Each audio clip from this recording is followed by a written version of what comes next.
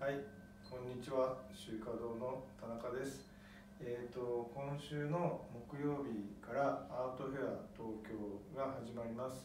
えー木曜日は BAP、それでえっ、と一般のオープニングは金曜日からです。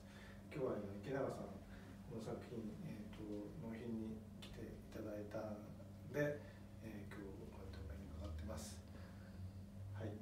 えー池永さん最近どうですかね？あのどんな調子でいらっしゃいますかね？頑張ります。はい。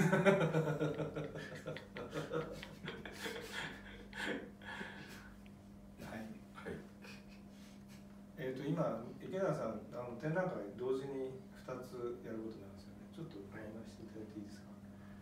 えー、今日から、えー、10日まで、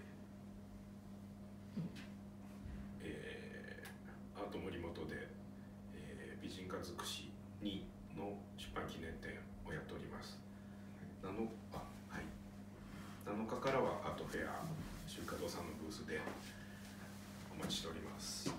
これこれですね。これ友人を尽くし2は今書店にもう結構並んで、あのどこの書店でも大体置いてると思います。これ池永さんが監修してるんですよね。であのいろんな、えー、と今回新しく招集されてる作家さんたくさんいらっしゃいます。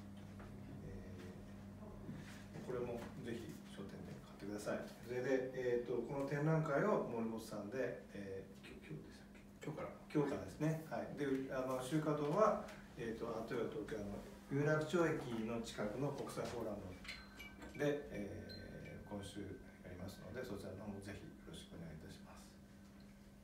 お待ちしております。